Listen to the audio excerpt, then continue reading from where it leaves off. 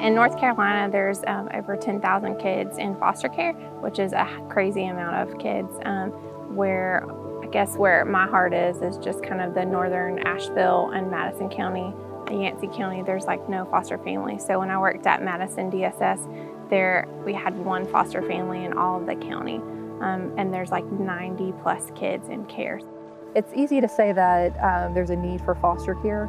Um, I would say that there's actually a crisis for foster parents um, because of the drastic numbers of children coming into foster care across the country, across the state, across Western North Carolina in general.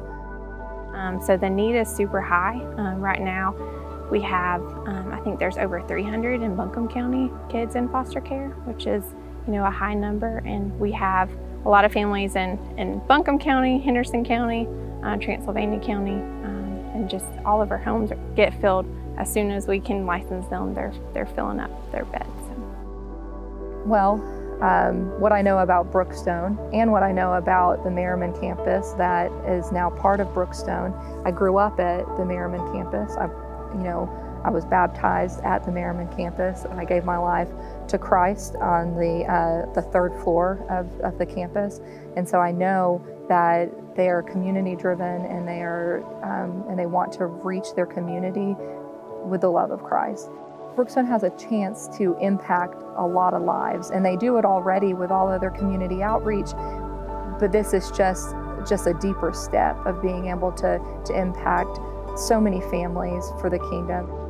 Think I've heard a ton of people say, you know, I would love the kids too much. Um, and speaking from experience from having a foster daughter for almost two years, like you will love them too much. And that's exactly what the child needs is to be loved and to see um, Jesus and to learn the, the, the Bible songs and, and to just live it out.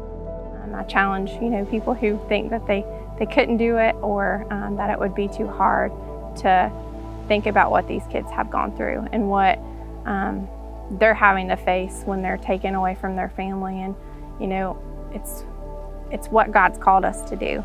He's called us to be the hands and feet of Jesus and you know opening our home to a child could be just one of the many ways that he calls us to, to be the hands and feet of him.